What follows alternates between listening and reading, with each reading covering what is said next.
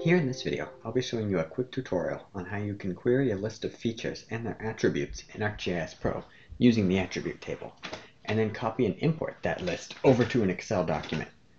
This can be a really great tool for when you need a handy and easy way to access a list of specific features, in case you need to search them later or you need to keep track of a specific group.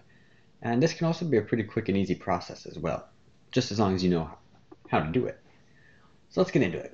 First things first, you're going to need to make sure that you have your contents pane open, this uh, window I have here on the left. If you don't have it open, you can open it by going over to the View tab in the top of the screen, and then in that ribbon, clicking on Contents. And if you had it closed, like I do now, you see it just pop open, just like that. From there, we're going to need to decide which layer we want to search from.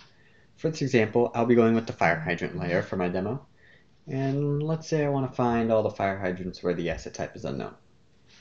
To get us going, we'll need to open the attribute table. This can be done by right-clicking on our layer and just clicking on attribute table.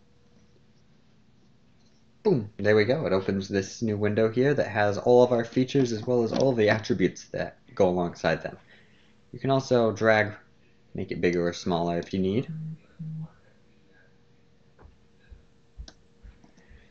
And now that we have this huge list of features, we're going to need to narrow it down.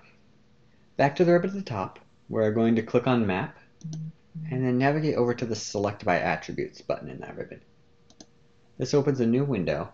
We can select a layer to search through. Here we already have fire hydrant selected. Perfect, that's what I'm looking for. And then it allows us to make a query using drop-downs or a SQL expression. So for this example, I'll make a query. And the first drop down, I want to select asset type. And then I want to keep it as e is equal to, but any of these work for depending on what you're looking for. And then I need to make sure to select unknown.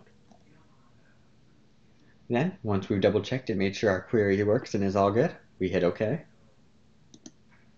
And now we have our features selected. See right here it says we have two and one of them is even glowing blue right here. But we still have all these other features that we don't need to see right now. So we're going to narrow it down. Uh, on the bottom left of the attributes table, we have these three blue lines here that say show selected records. If we go ahead and click on that, it gets rid of all of our unselected ones, and we only have selected ones left. And then we need to click on the copy here in ArcGIS Pro Remember that you have to use this copy. Doing it the normal way won't work. But after it's copied, we just need to open ourselves an Excel document real quick. And if we just do a normal paste, there we go. We have our table right here, just like it looked like on our uh, on ArcGIS Pro.